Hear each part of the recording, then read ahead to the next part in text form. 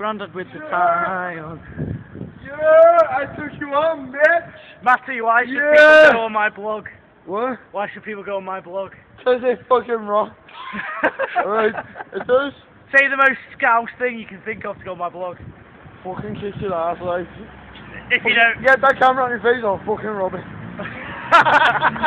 That's the most scouse thing I ever think of.